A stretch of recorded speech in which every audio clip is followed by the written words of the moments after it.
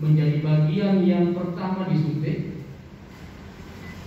Ikatan Dokter Indonesia juga mungkin karena dianggap sebagai role model dalam bidang kesehatan, kami juga bersedia eh, menjadi salah satu yang siap pertama dilakukan penyuntikan dengan contoh atau role model seperti itu kami yakin akan lebih memperkuat kepercayaan masyarakat kepada proses vaksinasi. Jadi kami sangat bersyukur eh, kalau semua pimpinan ya yang sudah dicontohkan Bapak Presiden mau segera dilakukan vaksinasi termasuk Ikatan Dokter Indonesia saya sebagai ketua mau juga menjadi role model untuk pertama kali disuntik vaksin agar masyarakat secara cepat melihat contoh-contoh yang baik itu dan meniru dan tidak ragu lagi terhadap uh, program vaksinasi yang akan kita lakukan. Sekali lagi karena program vaksinasi ini penting sekali.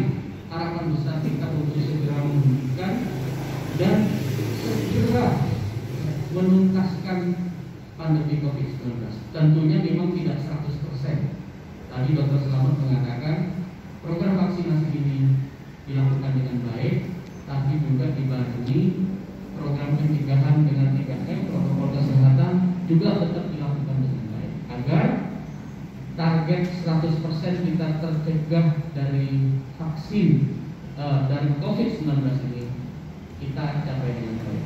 Yang terakhir saya sampaikan kepada masyarakat supaya tidak tertular COVID-19 ini satu tadi protokol kesehatan tetap dilakukan. Yang kedua untuk persiapan vaksinasi mohon dijaga kesehatan supaya tetap bugar, nutrisi dijaga dengan baik. Karena begitu disuntik vaksin, itu nanti vaksin akan mendorong terbentuknya antibodi. Kita tahu kalau antibodi itu terbentuk dengan baik, maka pertahanan tubuh kita menjadi baik. Untuk antibodi terbentuk baik, setelah dilakukan vaksin, syaratnya badan kita sehat, kemudian nutrisi kita baik.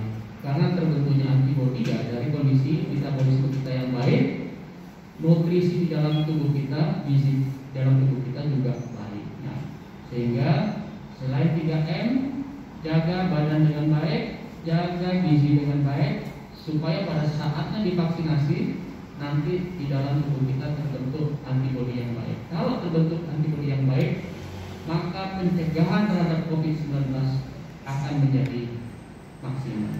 Mungkin itu yang dapat saya sampaikan. Terima kasih kepada kawan-kawan media.